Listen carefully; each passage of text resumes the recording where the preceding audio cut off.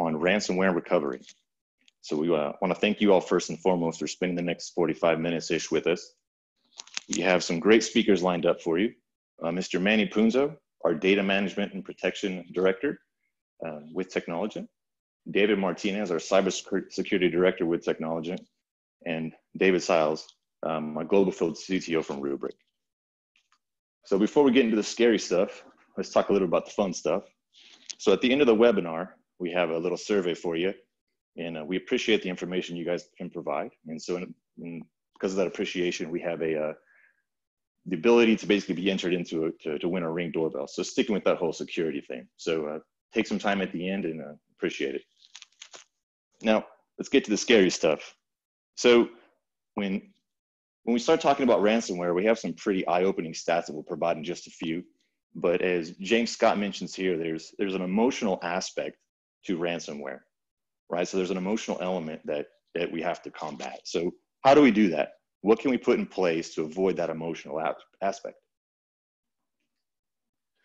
So some business drivers and some best practices that basically allow us to put a solid plan or a phased best practice approach is, is, is key to simplifying this process when it comes to ransomware prevention. So when, when it comes up to the, the phase of preparation, what we mean by that is building a plan, identifying the who, the what, and the how communication. Um, really, what can we automate to, you know, in, first and foremost, and really just developing that, uh, that general, um, general, general plan related to a recovery strategy.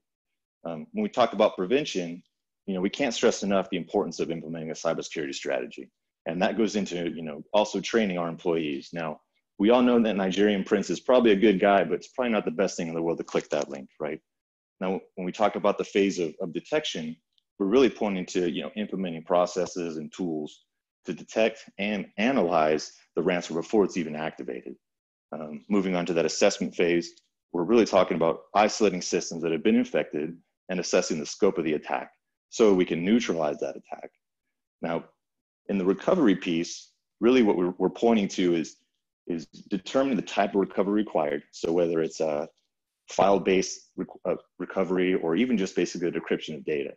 Um, the bottom line is probably the most critical piece is to eliminate that emotional feel is recovering the priority developed during the preparation phase. So basically it boils down to being prepared before an attack by, by shaping the strategic pieces so they fit into the defined goals of the organization. Now, let's kick off a poll because I'm actually curious what the biggest challenge your organization is facing today. And while this is going on, if you notice at the bottom of your screen, there's a little Q&A button. So if y'all have any questions as we progress through this, please put them in there. And at the end of the session, um, we'll go ahead and have uh, the Q&A at the end.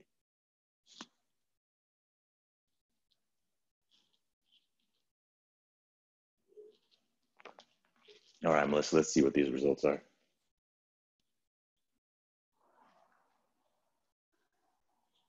All the above.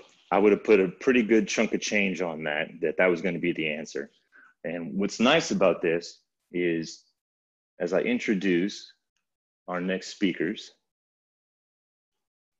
it, all those answers basically correlate to the conversations from a cybersecurity and data management perspective. So um, I'd love to introduce my some of my great friends, uh, Mr. David Martinez, our cybersecurity director, and Mr. Manny Punzo, our data management protection area director. Uh, gentlemen, thanks for joining us today. Hey, thanks. Thanks for the introduction, Trent. Can everybody hear me all right? I hope.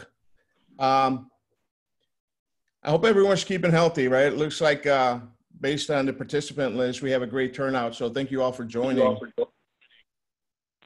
Ooh, I just got some feedback.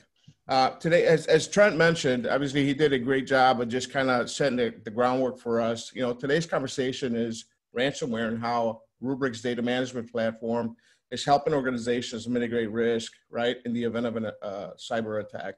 But before we get into it, uh, David and I would like to take a few minutes and provide our perspective on the importance of data security and data protection as it relates to, ran- to, to the ransomware conversation. Okay, try. Next one. Next slide, Trent. Uh, thank you. Uh, so data management, right? That's that's a big what buzzword. You know, we're, we're living in a data driven world, a world where the data, data is the most important asset to a business. And the growing requirements around data privacy, data compliance, adoption of cloud resources, and the continuous ransomware attacks has changed the way businesses have to manage their data.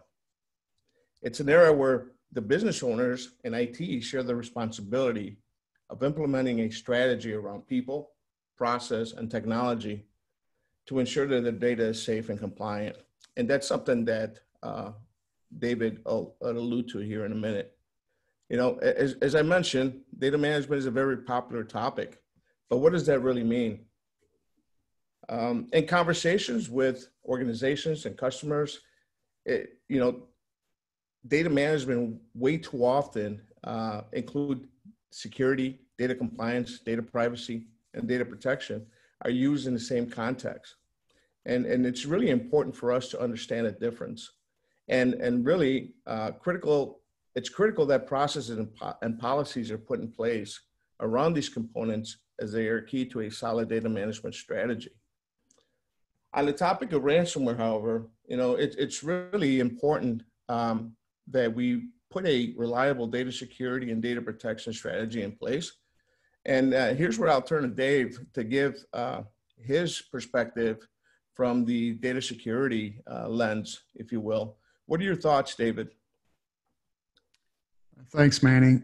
So um, I, I, guess this is probably a little more of a, a complex answer than it seems on the surface. Uh, for many years, data management and data security have existed in two separate silos. The management has really been the purvey of operational groups, and the uh, the security side obviously has belonged inside a, a, subsection for you know security analysts and you know managed by the CISOs type.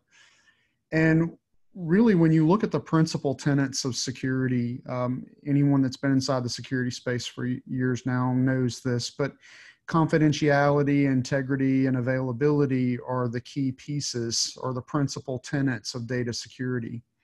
And so you've got things like encryption and authentication as subsets to uh, your your confidentiality pieces, but availability that those pieces are really driven around your data management and you know your DR plans, your your overall cyber event recovery plans, those things of that nature.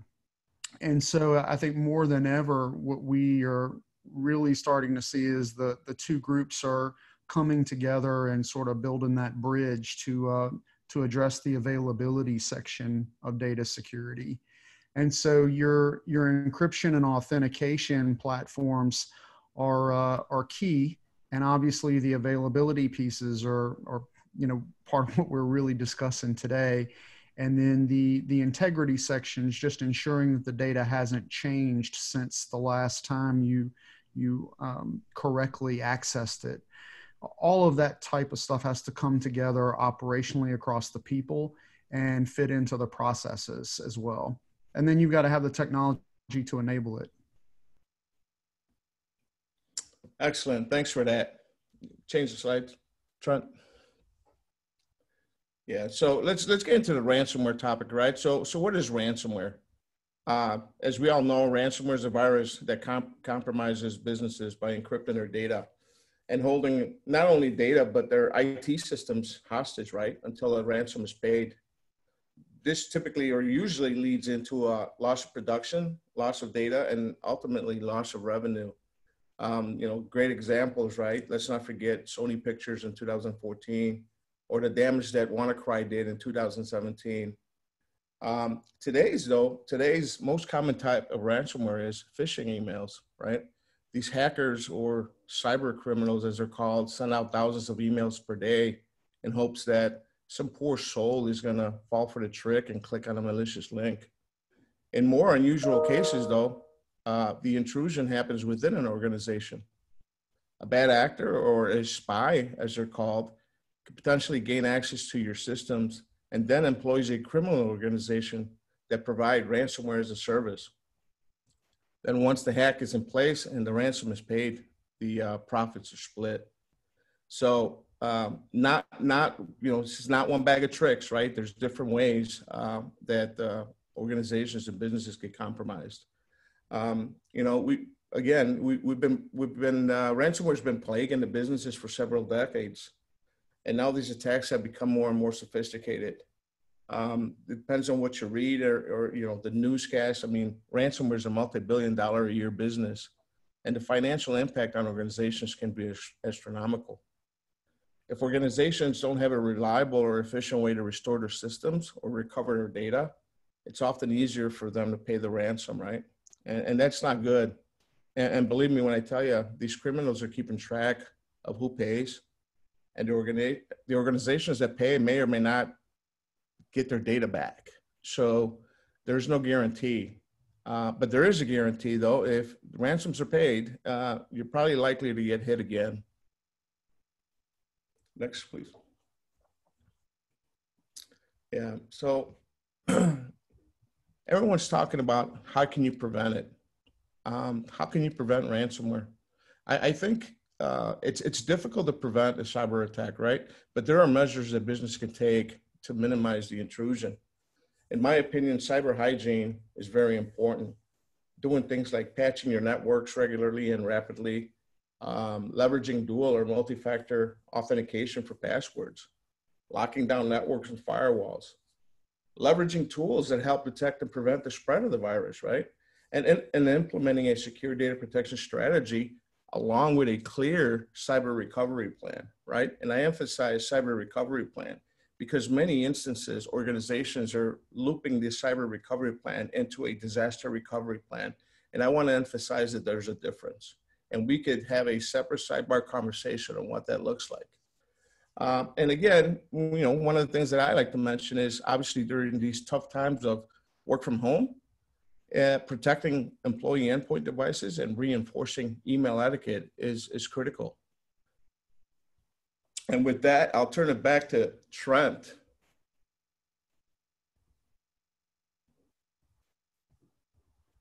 Hey, thanks, Manny.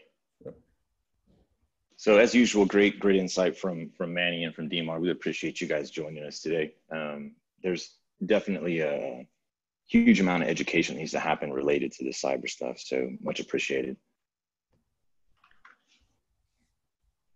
So let's take another poll. Um, so let's let's let's hear from from you all related to how important data protection is related to a ransomware recovery. So this should be a quick poll. Um, just really curious is, you know, you, you'd be surprised how many times you read this question and see, we see these answers and it's a 50-50 model, right?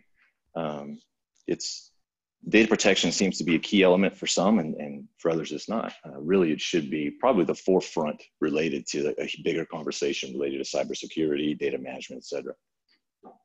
All right, let's go ahead and see these results.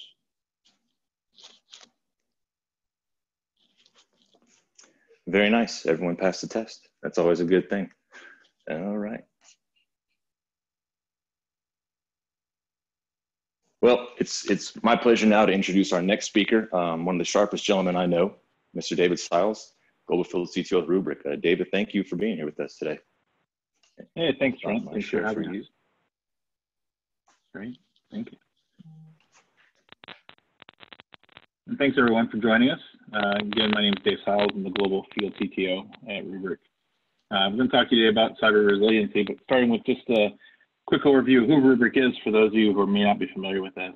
Um, Rubrik, we, we started about six years ago, and we really came to market to reinvent how people took a look at data management. There really has not been much innovation in the last 20 years in the data management space, and, and this model was ripe for innovation and disruption. And so Rubrik came into the market space took a look at the complexity of how people were managing data backups, data management, data catalogs, and then being able to take and exploit the power of the cloud coming into the market space and giving customers another option. And so we take that complex architecture, we collapse it into a single scalable software fabric that allows for infinite scale out capabilities while taking advantage of the public and private cloud uh, through a data management plane that gives the customers ultimate flexibility uh, with, with managing their data with Rubrik. Uh, our journey starts very simply with the deployment of the Rubrik solution.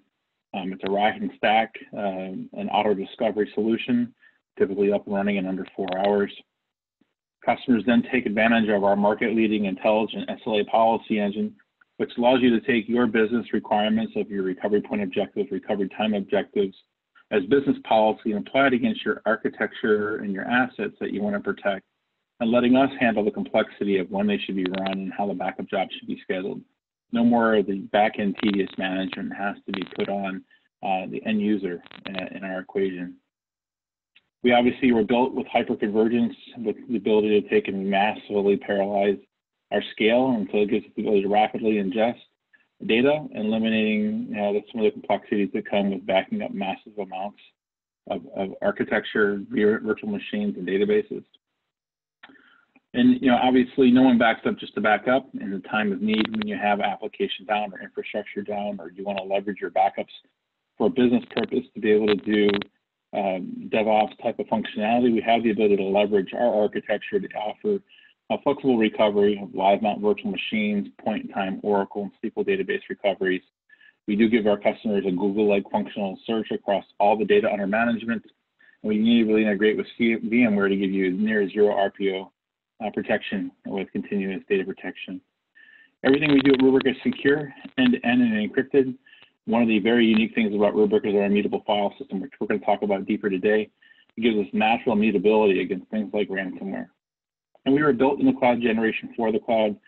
Uh, we have the ability to take and allow our customers to exploit um, the power of using the cloud for not only long-term cold archive, but also for using it as compute uh, or journey to the cloud. And that journey to the cloud starts most likely with customers leveraging us for uh, premise on backup and then using the cloud as a, as a target location. But as customers make the decision to move to the cloud and looking for cyber resiliency, we have the ability to convert those workloads to being able to be used in a cloud native format. And for the infrastructure as a service and platform as a service customers who've made cloud native decisions, we offer options in that space to do cloud native protection. But Rubrik really, that's just the start of our story, not the end of our story. Uh, data protection here really does more. And we do that by taking the metadata that's being protected under management into our Polaris SaaS platform this industry-leading platform then allows us to take and harness the business value of the metadata and unlock it through a series of applications. The first one that came on the market was the global GPS product. That allows you to have a single pane of glass for all of your Rubrik assets under management. Rubrik Radar, uh, Polaris Radar, um, is our anomaly-based detection engine for helping discover when you've been impacted with things like a ransomware attack or uh, insider threat and, helping you identify that and automate the recovery. You'll see this live today in our demo. We do Office 365 native protection, cloud native workload, and we have a new product we just launched in this space allowing you to do very deep uh, unstructured data analytics, looking for data classification, to sensitive information, aligning it to the compliance landscape of the world, things like GDPR and CCPA. Uh, ransomware obviously is, is Manny well uh, set up is a pandemic among itself. You know, it is over a billion dollar criminal enterprise. It's be close to two billion dollars of ransom paid this year. It's a market that's continuing to increase and, it has legs. Now, you know, the question I always get asked is why are customers paying uh, the ransom? And we really can see it breaking down into three different areas. The first is the length of downtime. You know, the average recovery time is a little over seven days, according to Forrester. That's a lot of business downtime for customers that sometimes cannot just take that impact. A second and a bigger one, it's, it's obviously becoming a more and more prevalent issue, is some of the legacy backup architectures that run on those uh, systems that have open platforms and open storage points. They become targets to ransomware attack themselves, completely getting encrypted or deleted before the attack is proliferating against the primary data, allowing the customer not even to have a chance to recover. And then just the lack of visibility, you know, understanding what was actually impacted. It's also a very time intensive process. And if you can't understand what was impacted, it's hard to get back to steady state recovery. Now, all you have to do is open the newspaper and you'll read a story about every different vertical. Someone's being impacted on a daily basis by ransomware. And it's not something that's, again, slowing down. And as we currently sit with the pandemic issue of COVID 19, you know, it's a real-time changing landscape. You know, as Manny has pointed out, you know, users have been moving to the edge. Corporate v, corporate walls are now being stretched to the VPNs to the edge. attackers aware of this. They're adapting their techniques and their attack vector uh, based on this, and they're even leveraging some of the messaging of the pandemic as part of their initial phishing vectors. And we see, at least in the customer bases that we talk with on a day-to-day basis, you know, state, local, education, healthcare, those that are really on the front line are also being markedly increased in terms of attacks right now. Now, ransomware has been around for a while. You know, the first known version of ransomware was PC back in 1989. Really just kind of a nuisance. And, you know, as we went through kind of history here, you know, in 2005, we had the, the primarily on-system local data impacts. And these were typically remediated through things like antivirus and spam filtering and even user training. Um, that second wave in the in the early 2010s, we really saw the wall, the CryptoWall, and TorrentLocker type of, come, of attacks come into place. This is where you started really having to depend on strategic backups and next generation antivirus to really try to rob recovery. Although the encryption keys were typically still left on systems, and so identifying those encryption keys to recover was still possible. And then we hit the 2015, 2016 timeframe, and we really get into this third wave where things started getting serious. WannaCry and Cerber, Locky were coming out into the market space. These typically went to using a command and control architecture in the cloud, requiring that customers have an offline network backup. Um, many customers could not survive these type of attacks with local remediation, started paying ransom. This is just where the, the race has been on. As we sit here today, you know, we're really in this critical wave. You know, the attacks have become very uh, systematically complex. Um, they're very highly efficient. They're polymorphing on deployment. And so everybody's getting hit with almost essentially a zero day attack. This is driving the needs for things like having an absolutely guaranteed immutable backup, using things that are helping the customer to identify when an attack is happening through artificial intelligence and machine learning determine for recovery, I'm sorry, determination of recovery. Um, you know, and, and companies are having to take out insurance policies now to make sure that if they if they are being hit, that they have the ability to pay a ransom. Now, there's different types of attacks that fall into the ransomware category. The most prevalent would be an encryption-based ransomware attack. These are the typical ones that most people hear about. The most prevalent kind of you're probably going to be impacted with if you were hit with ransomware. These go at the encryption of the files and sensitive information. They typically go at the backup architecture first, then encrypt the high-value data, and then we'll pop up a warning saying you've been encrypted. You know, please pay us in this amount of time to get your encryption key, and they'll give you great customer service and tell you exactly how to buy Bitcoin and where to go for, for servicing that request. Lock screen ransomware is not as prevalent anymore. It's more of a nuisance, and typically antivirus malware will help you remediate this or going through safe mode and removing that. Um, some of this is obviously something that's become kind of second place. And then the last category would be hardware-based lockerware ransomware. This is stuff that goes with the master boot record or the firmware of the system. Typically is not evident until the system reboot happens, but typically when you are impacted with this type of an attack, like a Petya, you're going to be using new hardware to get back in recovery. So you need to have a full state system image backup as well. Now, here's how a typical ransomware attack happens. And the anatomy starts with the um, campaign. This is the phishing attack that's using social engineering or weaponized websites to help the user to click on some payload that'll drop down a helper application to bring down the infected code. This dropper application is not the ransomware itself, it's the payload pieces that come in and bring the executable to help start loading and staging the ransomware itself. And that staging process will happen. It'll get it set up in the system, inject into the registry, make sure that it persists through reboots. And then typically what will happen is the ransom will go into a dormancy mode. and Sometimes it will dwell for 30, 60, 90 days, really just to make sure that it gets in every good known backup, depending on your retention cycle. When it's time to start uh, the process of kicking off the attack, the scan control, uh, command control server will kick off a scan request, and this will start looking for the primary target to encrypt. It'll use some of the intelligence it gathered through its process of identifying keyloggers and passwords, try to expand the surface as much as possible and protect the most amount of data. And then the encryption attack will actually kick off. This will happen extremely quick today's Intel processors have offloaded uh, accelerators for encryption. And once the attack is done, you'll be presented with the payday requirement for the Bitcoin. Um, the goal here is to break this cycle. Uh, Uh, the weakest link in any security uh, ecosystem is always going to be the human firewall. You know, I'm not saying you're not going to spend money for your firewalls, antivirus, and antivirus encryption and backup products, but you still have to train the human firewall. So if you're not phishing your own employees and training them through good security hygiene processes, you need to do that. Now, if you are impacted, you should have an attack recovery plan. And obviously, the recovery plan is going to start with the fact of uh, identifying, you know, were you hit with ransomware were you impacted with a data loss event?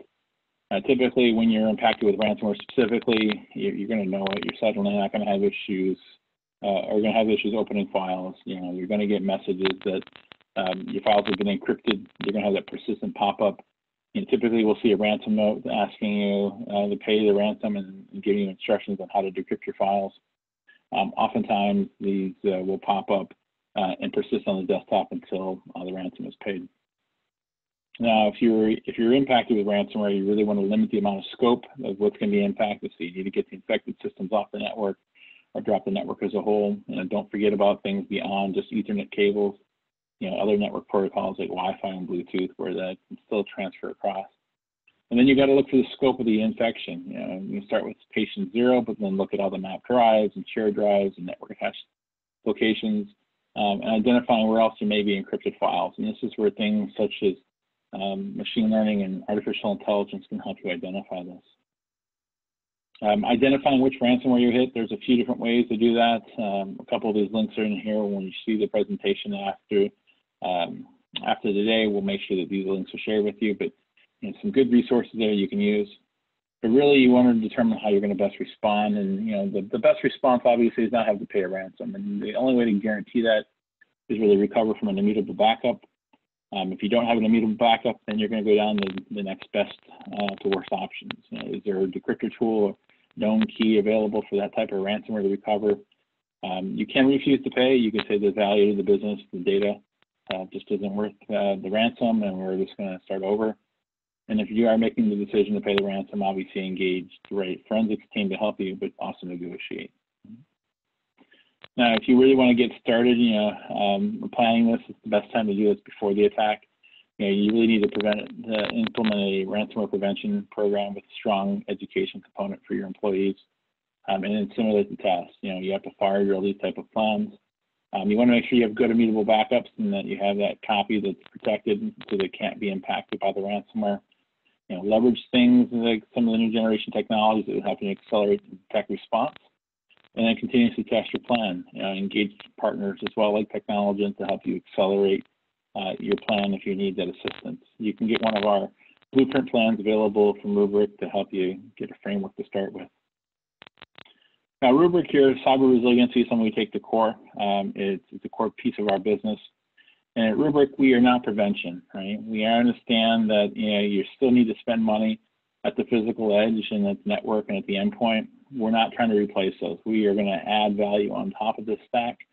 Unfortunately, we know through industry uh, and experience that the network edges devices still get all the way uh, attacks still get all the way through these uh, type of uh, endpoint protection. Um, 75% of the companies that were impacted last year actually up-to-date antivirus signatures, according to Sophos. You also have to protect against the rogue internal employee. And so if it makes it all the way through this crunchy outside edge and gets your data and you're impacted, you're down to the question of how fast you can recover. Now, recovery starts with immutable backups. It's an absolute must. You need to have it in your toolkit. It's really the only proper defense against ransomware today. You guys all passed the test in the poll when we asked this question.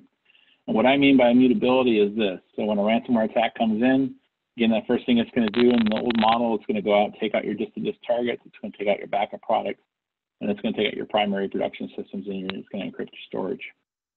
With ransomware uh, attack comes into an environment where Rubrik has been employed, it still may take out the production systems and find the file shares, but it's not going to be able to impact the Rubrik system. And the reason for that is our file system is absolutely air gapped. It doesn't have any external protocols. It's not discoverable, it's not mountable from the network. It's also an append-only file system. And what that means is data can only be written into it, can never be changed or modified once it's been committed into the system. And so that gives us a natural immutability layer. And those together with the natural immutability and the air gap protection give us a strong, resilient copy of your data to bounce back for things like a ransomware attack.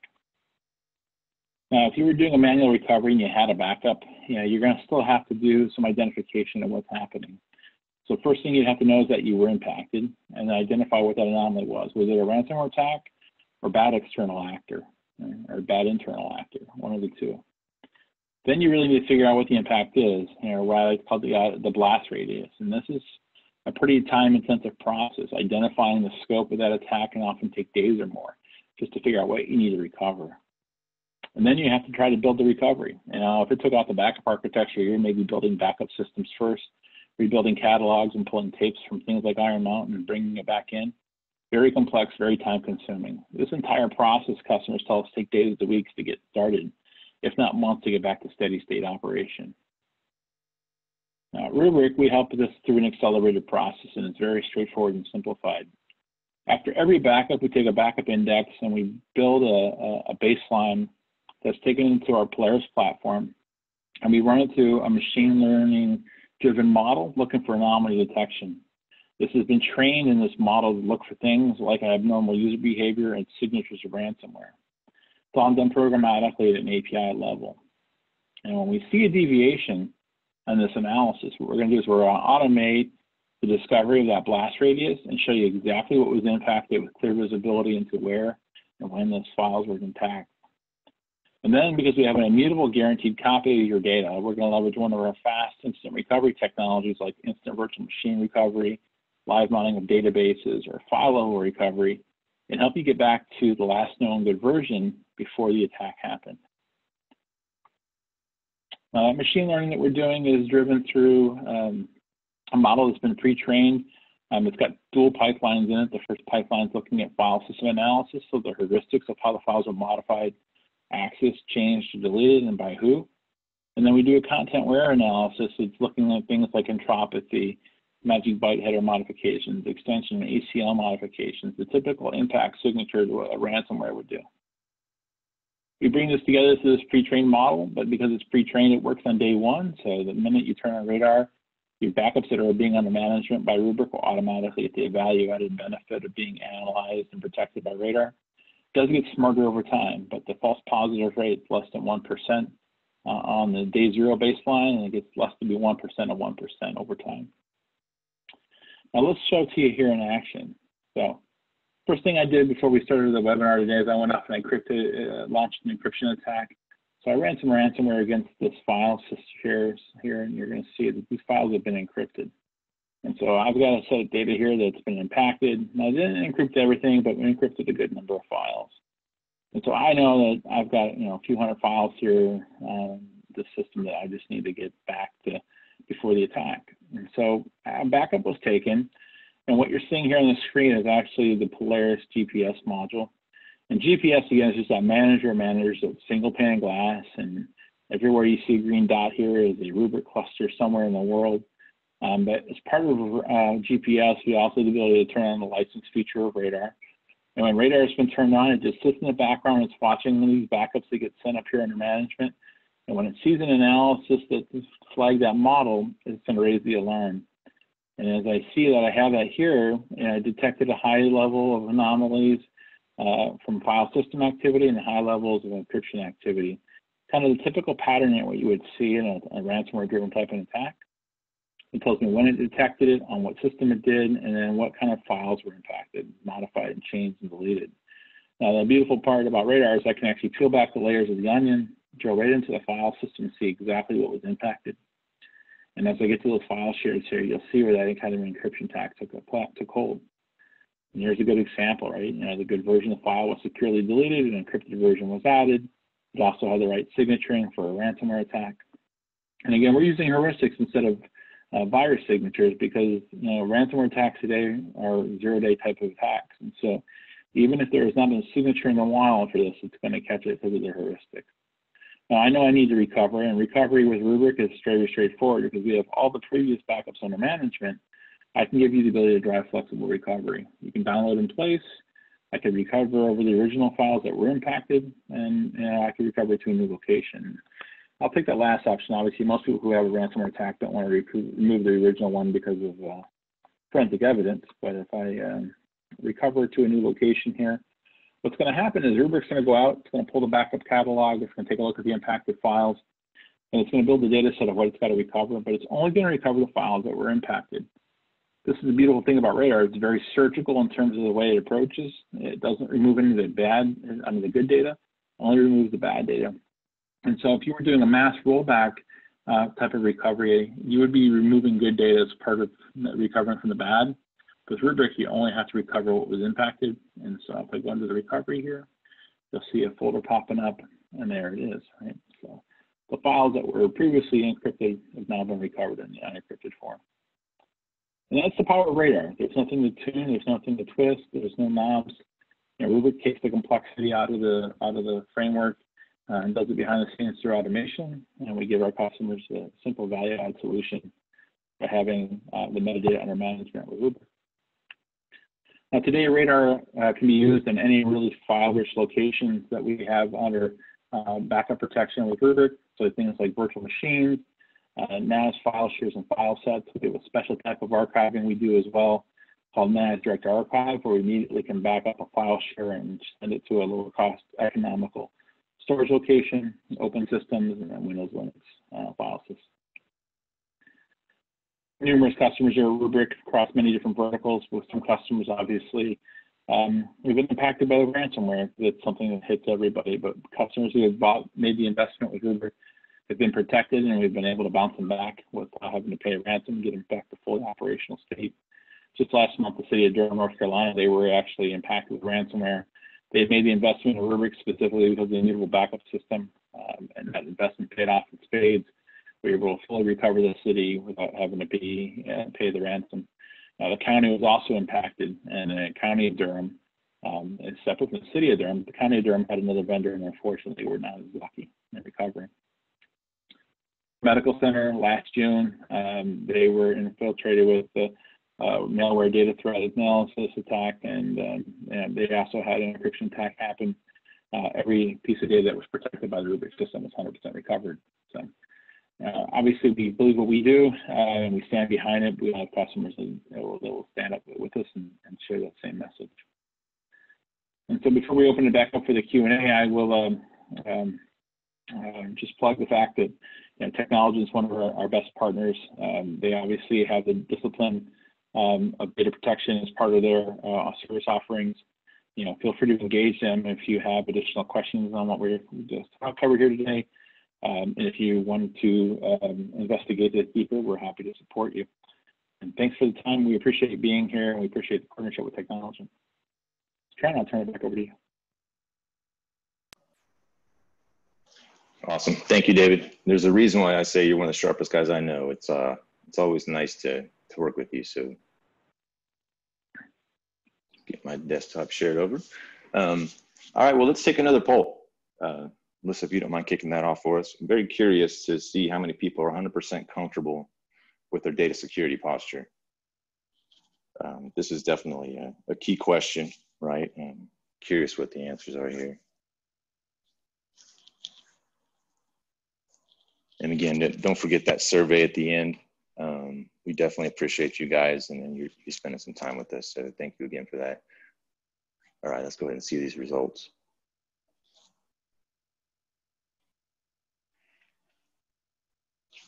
Yep. So about right. Um, I, I, guess I should have uh, mentioned that we're not going to show us to your boss or anything, so you you can be safe. Uh, get that through there. Um, so if when we think of change or attempting to achieve a goal, you know that that journey can be a significant challenge or really extremely uncomfortable. Um, so sometimes that discomfort is from a lack of time, resource constraints, uh, limited resource experience, um, even just like the plethora of options that are out there, right? The, all those different options you have to sift through. But the bottom line is you need a strategy in place to achieve those goals. So um, really, if it's if you don't have that, then it's really just wishful thinking, as as we see from the quote in here. So for those that didn't say they uh, they were 100% com- comfortable, you know what what is inhibiting your journey? Um, you know, if we think of it as a puzzle, you know what what missing piece is preventing you from completing the puzzle? What puzzle piece makes you uncomfortable? And at Technologent, we have expertise in each of these areas and more that you see on the screen. We can help develop the strategy and solidify the plan to bring you to that 100% comfort level. Now, today we focus on primarily three pieces, right? Um, you know, these, these puzzle pieces with with Dimar talking about cybersecurity and Manny going over data protection and data management, and David coming over and showing how Rubrik basically fits in each of those pieces. It it goes to show that you know we're here to to identify these key pieces, make our customer strategy a reality, right? So going beyond that wish that we referenced earlier. Um, when it comes to ransomware recovery, risk mitigation, and just an overall cybersecurity and data protection strategy, there are quite a few pieces that that are touched by Rubrik. You know, coupling that with te- the Technologent and data management and protection practice and the cybersecurity practice, we can absolutely help complete the puzzle. We can help make that uncomfortable journey of change and transition comfortable. Um, really, and we can go and make sense of the chaos. So I invite you to continue the conversation with us, right? Let's talk to Dimar about, you know, how a security assessment will impact you guys. You know, let's let's help help you understand what a risk mitigation roadmap looks like and let's talk about how the the spin the the spin can be saved in the background right um, let's engage manny and his team and talk about how a data management conversation with the underlying uh, compliance and, and regulatory uh, governance type of models underneath really project into that data protection strategy so we've heard from manny and Dimar today but i invite you to talk to other Technologent and team members john mendoza our, our ciso juan fabian and robert some of our data management and protection experts across the country um, we're happy to jump on the phone, you know, as David mentioned, talk about demos, POCs, get really deep and personalized from the, the technical deep dive into your environment. Let's talk about what a data management assessment looks like, a risk assessment looks like. Let's talk about how security workshop will benefit you. Um, and I'm happy to make that love connection. I'm pretty easy to get a hold of. My last name's an atrocity, so it's my first name at technologent.com. Um, so yeah, I'm happy to put you in, in touch with the right people. So with that, um, I'll open it up to questions. Uh, let's go into that Q&A session. And let's see. So when, when we talked about some of the challenges listed up there, one of the ones that we didn't reference was COVID-19 specifically.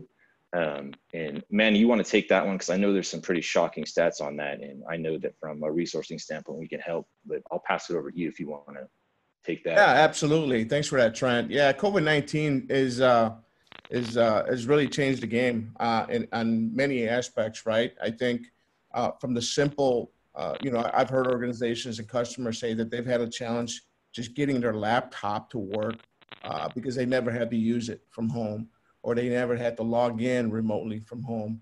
Uh, so, so just getting through that.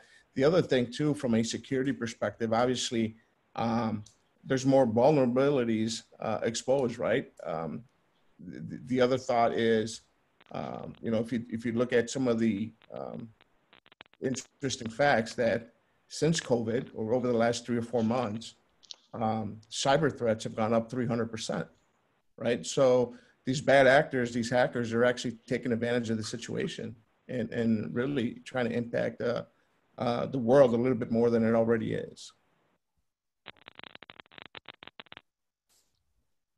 yeah, it's, it's definitely interesting.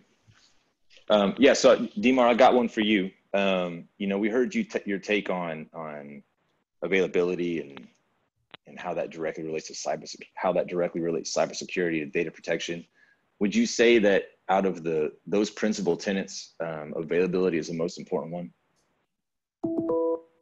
Um, no, I I actually uh, probably jumped the gun and answered that question via type, Trent, but I'm happy to go into it. The uh, out of the three principal tenants, no single tenant is you know more important than the others. There there is no one ring to rule them all, right? It's um it's more like a like a three-legged bar stool, and if if one of the legs is poorly structured, then you know you end up on your butt in spilled beer.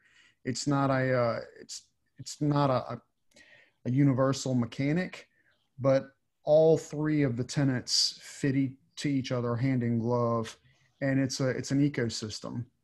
And so one of the things that we see is that you know folks are really more concerned around the confidentiality piece, and so they'll do things like, well, I've got data at rest encryption on on uh, this box. You know what? In retrospect, I wish we would have put something out of a polling question. If um, if there are you know folks out there that are encrypting their data already, do they feel like that they could be at risk from ransomware encrypting their data? Can you be encrypted if you're already encrypted? And the answer is yes. And so uh, I've talked to a number of customers over the years, a number of clients that they uh, they're always surprised by that answer because you they don't necessarily look at it as though well you've got a lock on the door in the house. If somebody comes in and puts all your stuff in a footlocker and then locks the footlocker, you still can't get to your stuff. And so that that's a great example of how availability is affected by um, encryption, which is really a subset, like I said earlier, of confidentiality.